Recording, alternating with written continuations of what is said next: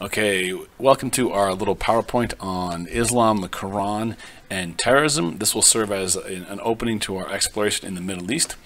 Uh, some of you have told me that uh, they were a little too long, so I'm going to make an attempt here to keep it to 10 minutes, so bear with me. Of course, you can pause and go back if you need to.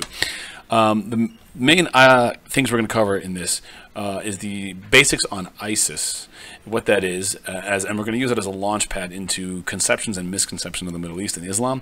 We're going to talk about Islam and by extension the Quran uh, and Muhammad and the times he was living in to give you some context for the origins of Islam. All right, terms to and people to know for tomorrow's quiz, and I'll repeat this later on, uh, are Islam, uh, and Islam is the religion. Muslims are those who practice Islam. Uh, we're going to talk about the Quran, which is the literal word of God in the Islamic religion, sort of uh, the holy book, uh, so to speak. We're going to talk about the five pillars of faith of Islam, uh, the term secularism, talking about the hadiths, jihad, and Muhammad himself. So kind of be on the lookout for those things. Um, so first, I want you to think about what you've seen about ISIS or what you know about ISIS, and maybe it's maybe it's nothing. We're going to start by talking about this because these are this is a group that claims to be acting in the name of Islam, and in tomorrow's class we're going to differentiate and try to make sense of what that means. So the Islamic State, at its peak, uh, controlled uh, an arc of territory uh, between Syria and northern Iraq, and even coming close to taking Baghdad. And in the uh, it has since been pulled back and is nearly out of Iraq and is mostly operating in Syria today. Uh, so what is ISIS? It is uh, it, it, came from the term the Islamic State in Iraq and Al-Sham. Uh, it also goes by ISIL, the Islamic State in Iraq and the Levant, or the Islamic State, IS. Uh, it's a jihadist organization that aims to form an Islamic State, or what it calls a caliphate, which was is an Islamic empire. Where did it come from? It came uh, from in around 2000. Uh, it was part of Al Qaeda in Iraq. It used to be known as Al Qaeda in Iraq. Now, Al Qaeda is the network that was behind the 9 11 attacks, and this is a, a branch from Al Qaeda. Uh, in 2013, it adopted a new name to reflect a more ambitious objective of creating a state itself. So they're not going to just carry out terrorist attacks, they're actually going to create an Islamic state. Um, Al Qaeda, for ideological reasons and probably political reasons internally, expelled ISIS from the organization, and Al Qaeda and ISIS split in 2014. Uh, what are its capabilities? Well, as of last year, this is a little out of date. As of last year, they had an estimated 17,000 fighters, including roughly 100 Americans and maybe 500 British citizens. Um, we had uh, the money at its peak, it reported to have uh, wealth and assets in total of $2 billion, particularly because it controlled uh, certain oil regions in uh, Iraq and in Syria, but it also uh, would tax locals as well in livestock and, and, and money. Uh, territory, again, at its peak, it had kind of this snaking band in eastern Syria and western and northern Iraq that amounts to roughly the size of Belgium, although with U.S. Uh, support and backing, the Iraqi government has managed to push them militarily out of Iraq. All right. So, what are ISIS's threats to the region? Uh, ISIS it threatened at its height to dismember Iraq, although that does seem to be abating at this moment. Um, it its goal and threat was to create a, Sunni, a Sunni Islamist state. Islamist is not Islamic. Islamist is a radical version of Islam uh, that could launch military operations at other neighboring states. So if it gets a stronghold, uh, it could unite with other Sunni uh, Islamic states. We'll talk more about Sunni later. Um, and it threatens to spark broader sectarian uh, conflict in the region. Sectarian meaning different ethnic groups, different political groups. It could just shatter the Middle East into more conflict than we already um, what is its threat to us, to the West, to Europe, to the United States? Um, government officials uh, worry that some Americans or Europeans fighting with ISIS may return to the U.S. to carry out attacks. Um, we have had examples in this past, and this is largely what is behind um, the so-called Muslim ban that is being proposed by the Trump administration. Um, the U.S. government doesn't have any specific uh, intelligence, at least that we know of, of a credible threat from ISIS to the United States, to the homeland of the United States. Um, um, so we're going to we're going to hear a lot of terms. You hear a lot of terms in the news: uh, Al Qaeda, Al Qaeda in Iraq, uh, jihadists. Uh, we're going to hear terms like caliph and caliphate or Islamic caliphate.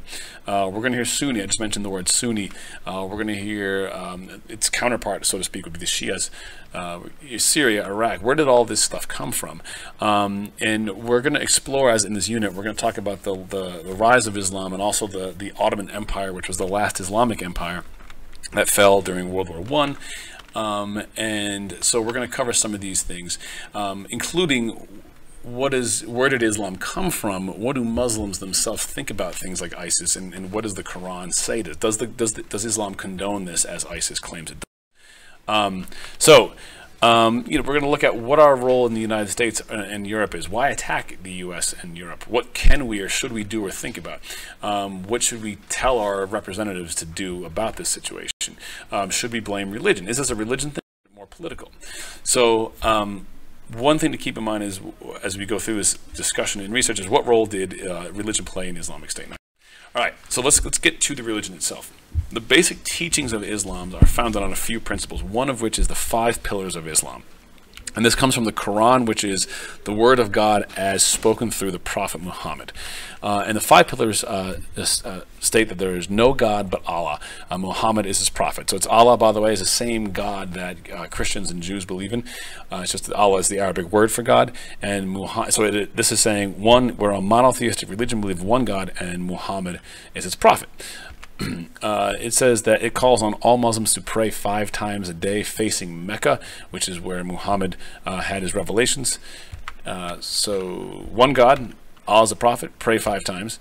Uh, the wealthy should give alms to the poor. So, if you have the means, you should give uh, charity to the poor, aid to the poor. Uh, and during the month of Ramadan, you should fast during the day and only eat at the end of the day. And then at one point in your lifetime, all Muslims are encouraged to make a pilgrimage to Mecca, where the whole religion began. Um, the other element we should know about um, Islam is something called the hadiths. The hadiths is another way devout Muslims can try and figure out how to act and live and how to believe and, and, and you know what to do.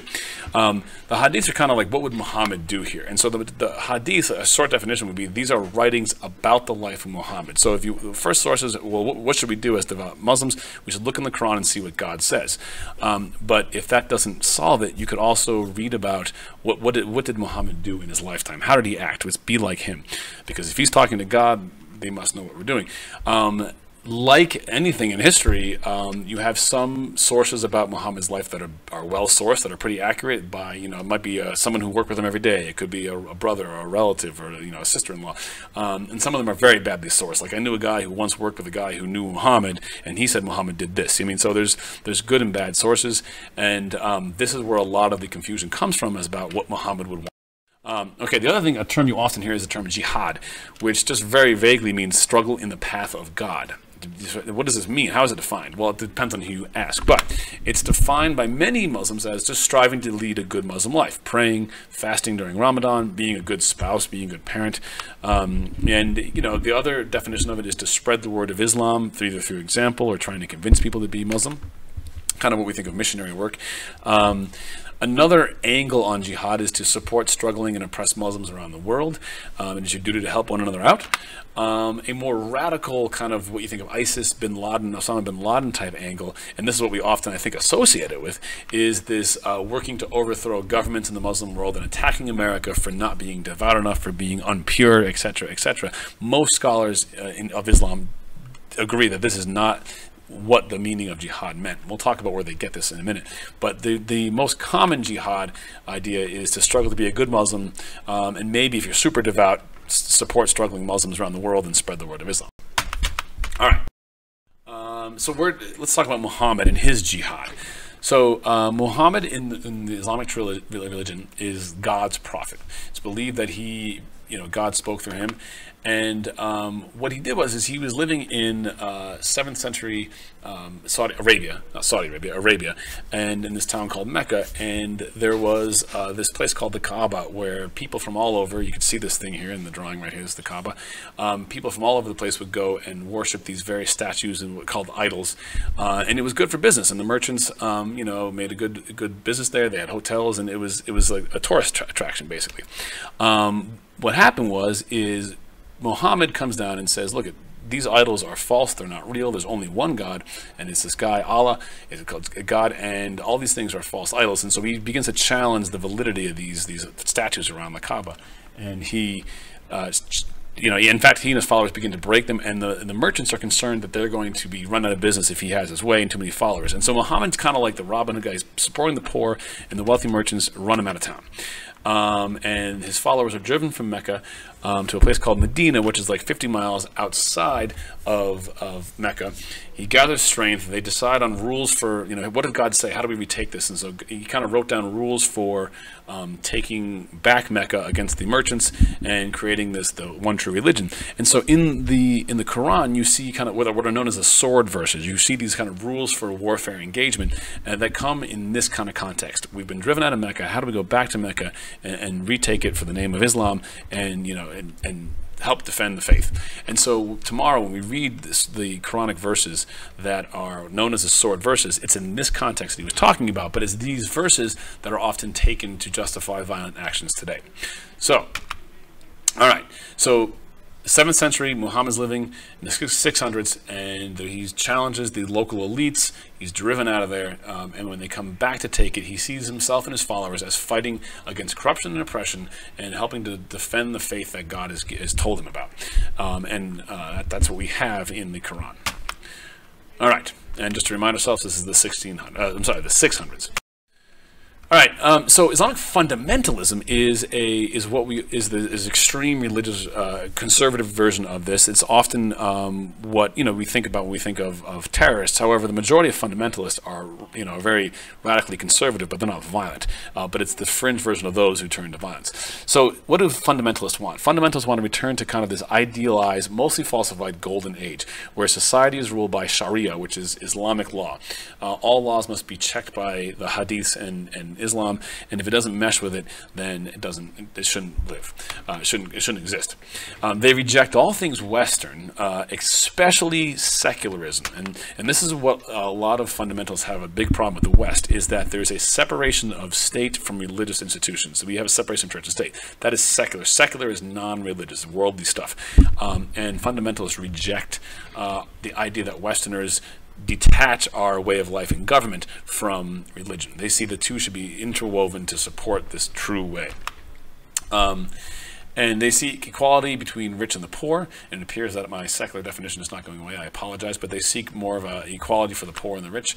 Um, and they harken back to this one kind of true, true era in which Muhammad lived, and they want to return to this golden society.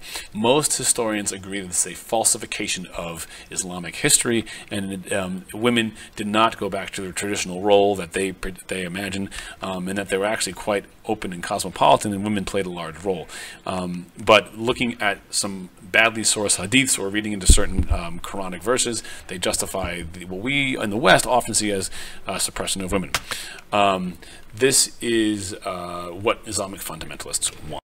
Um, in a nutshell today, Islamic fundamentalists today, they see the original generation struggle, the jihad, Muhammad and his followers being driven up by the, the Meccan merchants. As, uh, as, as an example for the fundamentalists today living in uh, the Middle East where you have Western domination or we had Western domination in some cases we still do uh, and local corruption um, these guys are fighting in the original struggle. And so they are they see themselves as Muhammad's original guys basically um, so the big question is, does the Book of Islam condone terrorism if these guys keep referring to it? And so tomorrow we're going to look at some of these verses and, and keep in mind some of the context and the history and try and figure that out. Uh, tomorrow's quiz, make sure you know uh, that Islam is the religion, Muslims are the people that practice it. Uh, the Quran is the holy book, the word of God as told by uh, God to Muhammad. Know the five pillars of faith. Um, know what the hadiths are. Know jihad and know who Muhammad was and what his time was like. All right, good luck tomorrow.